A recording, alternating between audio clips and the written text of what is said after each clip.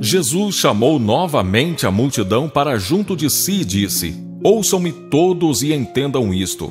Não há nada fora do homem que nele entrando possa torná-lo impuro.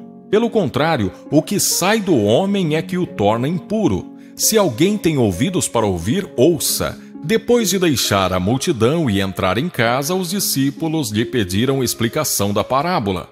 Será que vocês também não conseguem entender? perguntou-lhes Jesus. Não percebem que nada que entre no homem pode torná-lo impuro? Porque não entra em seu coração, mas em seu estômago, sendo depois eliminado.